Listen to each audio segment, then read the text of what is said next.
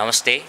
हाम्रो Myagdi YouTube channel परदेशदेखि घरदेशसम्म र घरदेशदेखि परदेशसम्म रहेर हेर्नुहुने सम्पूर्ण सम्पूर्ण दर्शक श्रोताहरूमा म म्याग्दीबाट नवीन बानियाको फेरि पनि नमस्कार व्यक्त गर्दछु।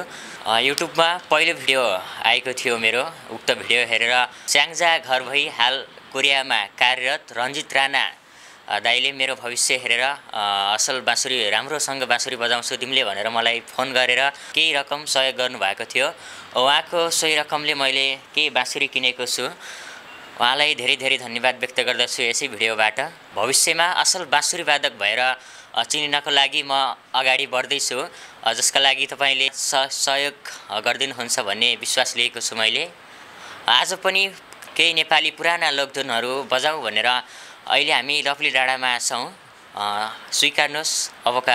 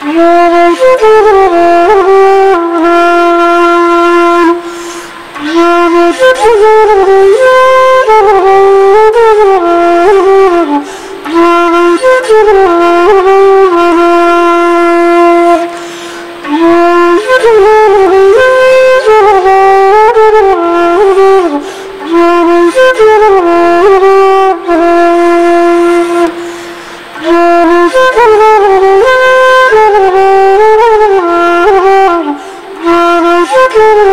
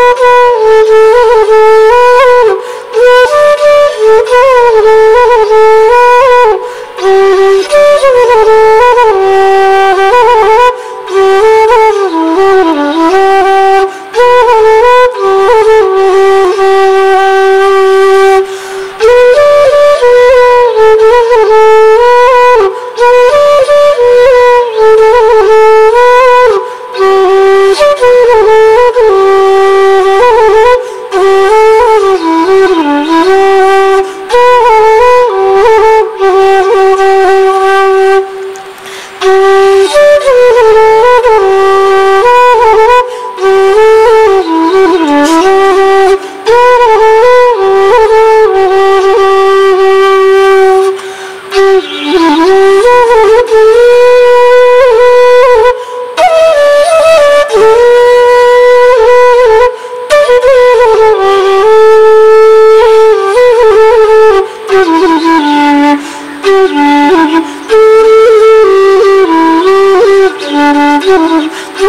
Oh, my God.